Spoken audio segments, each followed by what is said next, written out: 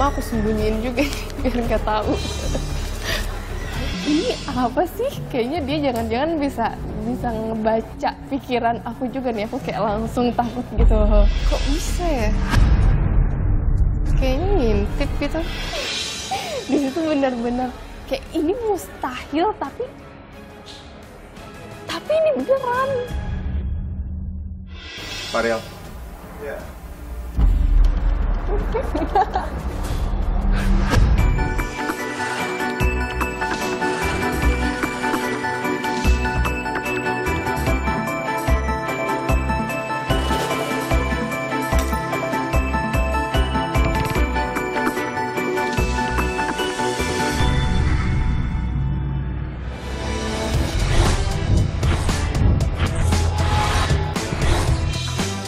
Dalam berkomunikasi, manusia dapat mengungkapkan sebuah fakta hanya dengan dua cara. Yang pertama, dengan secara jujur menyampaikan faktanya. Yang kedua, menyembunyikan faktanya tanpa mengungkapkan kejujuran mereka.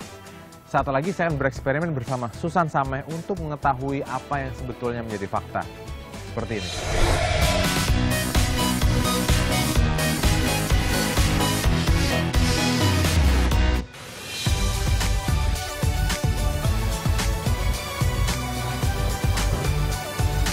Oke, tadi tuh aku lagi jalan-jalan kan di toko coklat. Emang kebetulan aku juga janjian sih sama Mas Romi di toko coklat.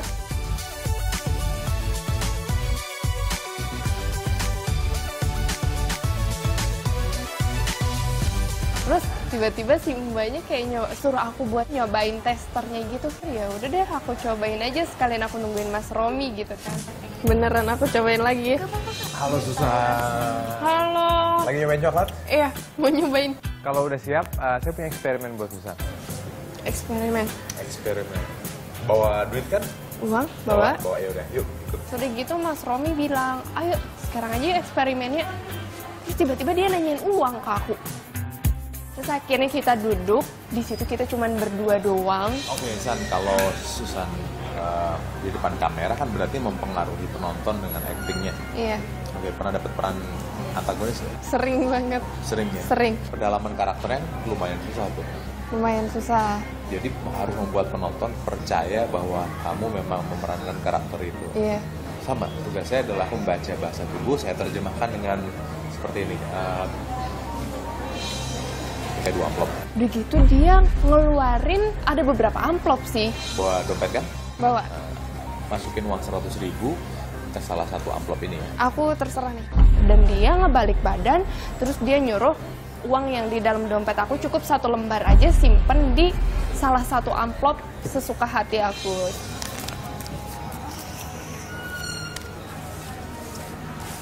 Dah, udah selesai. Di mana salah satu ada uangnya, satu kosong dong. Iya. Oke, cuma kamu yang tahu. Tapi cuma dua, amplopnya 50-50 kan? Mm-mm. Oke, bisa di sini. Bisa di sini kan? Iya. Fokusin ya. Pikirin uangnya di mana ya? Terus dia pilih dan ternyata pas dibuka, Menurut saya ini kosong. Ini ada uangnya. Yes, iya bener, itulah yang ada uangnya. ini kebetulan ya. Sekarang 50-50. Saya tambah lagi amplopnya. Akhirnya dia nambahin lagi amplopnya. Ada empat amplop lagi. Tapi Hmm. yang yang tiga kosong. Satu ada uangnya. Iya. Ya. Saya balik badan, kamu yang ngacakin ya. Kamu tutup dulu amplopnya. Oke, aku acak-acak ya. Pelan-pelan aja. dan aku acak-acak lagi itu Mas Rominya udah ngebalik badan dan dia sama sekali nggak ngeliat itu uangnya ada di mana. Oke udah Udah, kamu tahu di mana ada uangnya dong? tahu. Oke. Jangan bereaksi ya. Eh. Dan itu kan udah bukan dua lagi kan, jadi kayak bukan 50-50 itu beneran dia harus pilih ada uangnya di mana. Menurut saya ini semuanya kosong, uangnya ada di sini. Iya. Dan ternyata dia bener lagi gitu. Itu ada uang di dalam situ. Kayak di situ aku bingung, kok Mas Romi bisa nebak ya? Akhirnya sama dia ditambahin lagi amplopnya. Saya tambah lagi amplopnya ada tiga. Oh, udah. Saya balik badan lagi. Lama-lama aku sembunyiin juga biar nggak tahu. Oke, aku aja. Kamu tahu di mana uangnya kan? Tahu, ini lagi aku sembunyiin. Oke, udah. Sudah. Kamu jawab semua pertanyaan saya dengan tidak ya. Siap? Tidak. Udah menikah? Tidak. Tadi pagi mandi? Tidak. Tidak. Tidak. Uangnya di sini. Tidak. Uangnya di sini. Tidak. Uangnya di sini. Tidak. Uangnya di sini. Tidak. Yes, uangnya di sini. Ya aku kesel harus sembunyi di mana ya? Mungkin saya ngerasain. Ngerti nggak? Waktu saya pegangin begini, bukan cuma lihat ekspresinya Susan, saya bisa ngerasain tebel enggaknya. Coba deh, pegang. Ya kan? Mungkin. Enggak, sama aja tipis. Nah, uangnya di sini. 10 lembar mungkin kerasa gitu. Iya. Nah, ini eh, lainnya kosong. Ada satu, ada isinya. Saya balik badan lagi. Mm-mm. Saya nggak nyentuh uangnya. Ya, kamu umpetin uangnya di amplop yang mana aja.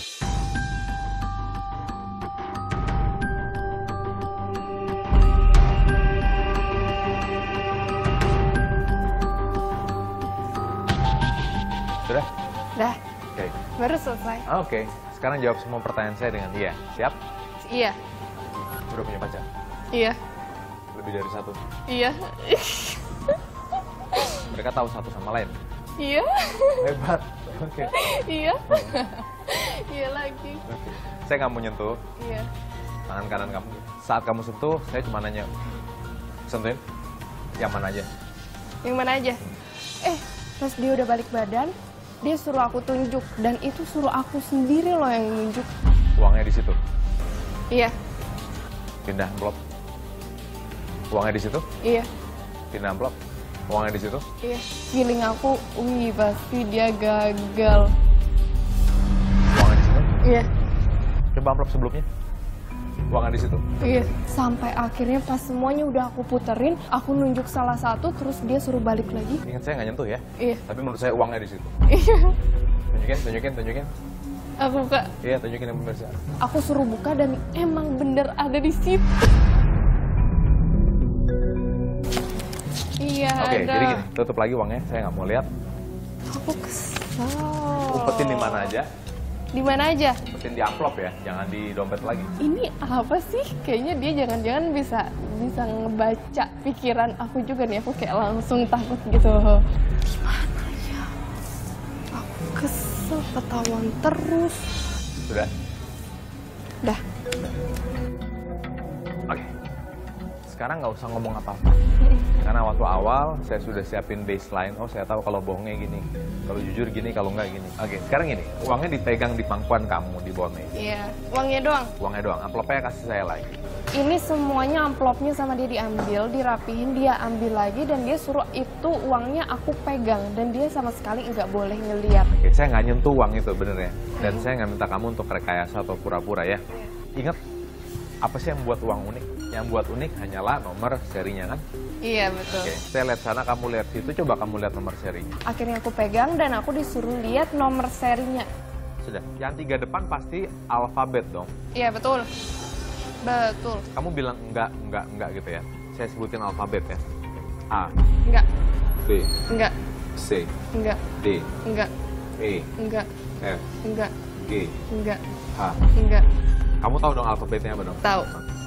K, Enggak, L, enggak, M, enggak, N, enggak, O, enggak, P, enggak, Q, enggak, R, enggak, S, enggak, T, enggak, U. enggak. Oke.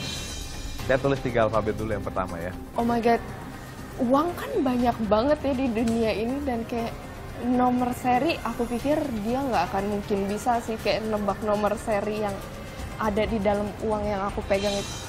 Nah, kelihatan kan? Enggak. Oke. Eh, nebaknya dia tulis di satu amplop satu amplop. Bentar, ini menurut saya ya. Oke. Yang tiga berikutnya adalah angka dong. Iya angka. Oke. Sekarang gantian ya, saya nyebutin jangan bereaksi ya. Tiga angka terakhir ya. Lihat saya. Udah lihat tiga angka terakhir. Oke, jangan bereaksi. Satu, dua, tiga, empat, lima. Oke.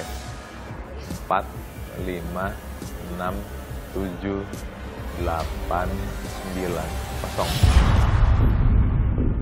Ingat semua nomor seri uang itu beda-beda. Dan itu bukan uang saya ya. Uang siapa? Uang aku. Dan saya nggak nyentuh uang tersebut ya. Dan dia tulis sampai berderetan. Sebutin nomor serinya. Pelan-pelan ya. Dari sini. Sambil lihat sini ya. T. Mungkin kebetulan. Mungkin kebetulan. A.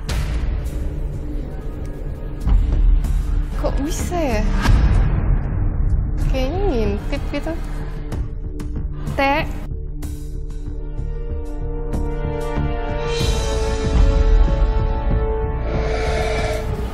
Satu. Enggak, ini kok tahu sih?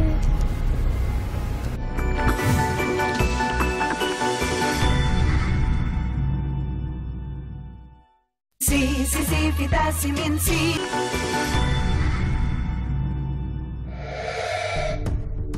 T.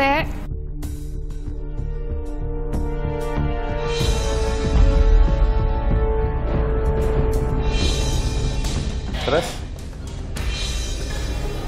Satu. Enggak, ini kok tahu sih? Terus? Lima.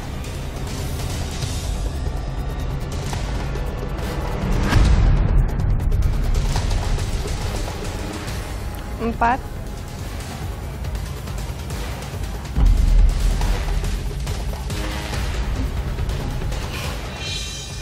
Satu.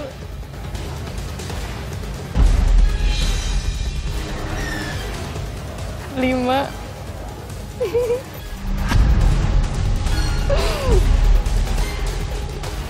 Sembilan. Mudah-mudahan salah. Ya bener. Enggak, ini enam. Ini enam. ini enam. Berarti salah. Yeay, aku menang. Dan sampai akhirnya pas dibukain satu persatu dan aku sebutin itu nomor serinya. Ternyata itu bener semua.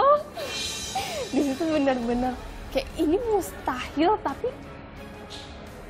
tapi ini beneran.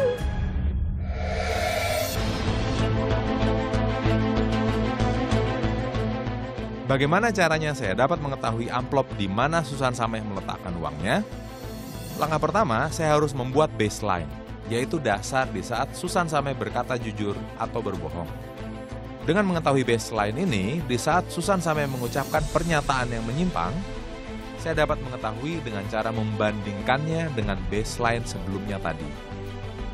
Lalu, bagaimana caranya saya dapat mengetahui di amplop mana Susan Sameh meletakkan uangnya? Sebetulnya apa pun urutan nomor serinya, nomor seri itu hanya dapat terdiri dari 10 digit angka dan 26 alfabet. Jadi yang perlu saya lakukan adalah mencocokkan reaksinya di saat Susan memikirkan nomor seri uangnya sendiri. Itu kenapa eksperimen tadi dapat berhasil.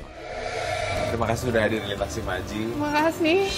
Ini aku benar-benar nggak nyangka banget karena yang ada di pikiran aku ini semua bohongan, ini semua settingan dan ini pertama kali aku untuk diajakin buat eksperimen kayak gini dan ternyata semuanya real, bener-bener real. Untuk yang menyaksikan eksperimen ini, eksperimen ini menunjukkan pada dasarnya manusia tidak bisa tidak berkomunikasi. Bahkan di saat kita tidak berkomunikasi, kita secara tidak langsung sudah mengkomunikasikan sesuatu.